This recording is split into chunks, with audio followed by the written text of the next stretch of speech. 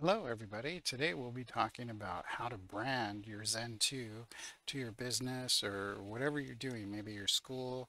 So right now you can see that it says Zend.to, right? So I'm going to present if how to change this and make it more towards your uh, entity, whatever that might be.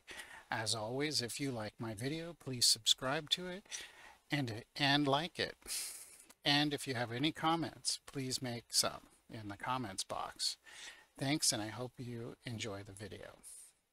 So to begin with, let's log in to uh, our webmin for Zend.to on our Zend.to box. Next, we want to go to uh, File Manager, and inside of File Manager, we want to go to opt.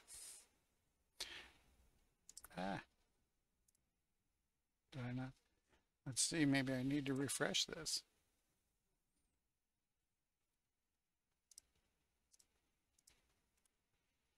Try that one more time. Okay, there we go. And then to config, and then here's the file we want to edit. So in here, you can see the service title, the service logo, um, the organization short name, short type, uh, and then the email address that you would be sending as. So first thing I'm going to do is just copy and paste into the service title my you know the Tech Guys Guide. So let me uppercase this. Oops.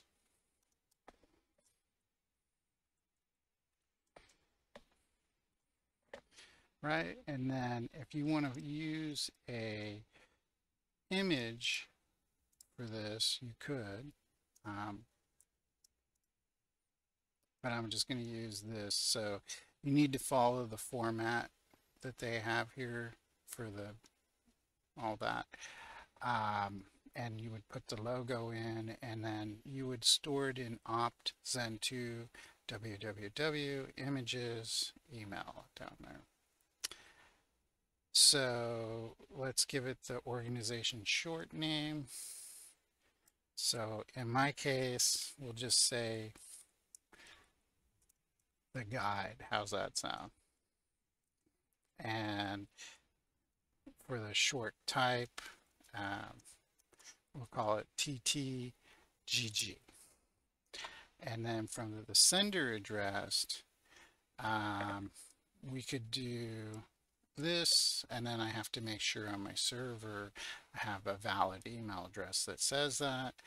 Um, for the subject header, you know, we could call it uh, really whatever you wanted, like file send or something, but for right now, we're just going to leave it like this. And that's pretty much it. Now,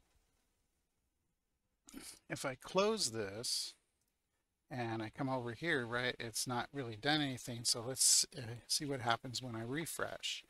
And the guide, the tech guys, right? So if I come back here and we look at this, right? The Tech Guys Guide, uh, Tech Guys Guide, right?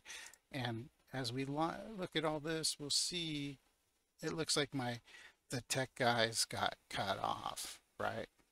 So keep that in mind, but you'll see there's the TTG. Now I created a test user, right? Hopefully that worked. And if you go into drop off, right, you'll see that all of these, right, are here for, and it's going to, you know, the tech guys are up here, so on and so forth. Well, that's it for the branding. I want to say thanks to everyone who joined me today on setting this up.